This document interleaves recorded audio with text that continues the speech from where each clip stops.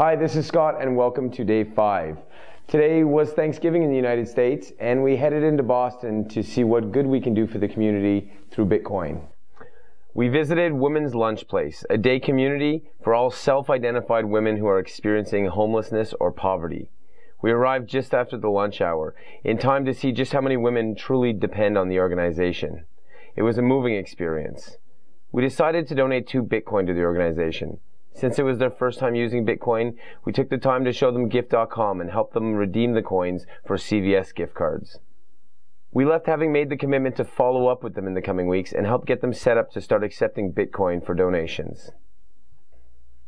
Next, we took to the streets speaking with Bostonians street level, sharing information about Bitcoin and helping them get set up with wallets on their smartphones. We shared with them their first Bitcoins and overall had an excellent experience doing so. Um, as the day wound down, we made our way over to Wellesley College to meet with president and co-founder of the Wellesley Bitcoin Club.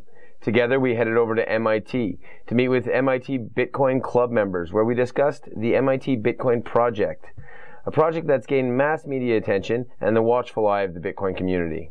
We woke up in Manchester, New Hampshire this morning, and we're currently just outside of New York City.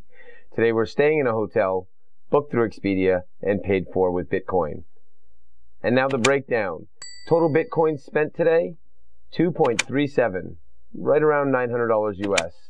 Our mileage was 270 miles, approximately 435 kilometers. Our Bitcoin friend network grew by a factor of 8 today. Our Support the Mission Fund received another donation. Thank you very much for your support. If you haven't done so already, please subscribe to the YouTube channel, like us on Facebook, follow us on Instagram, and join the conversation on Twitter. See you tomorrow.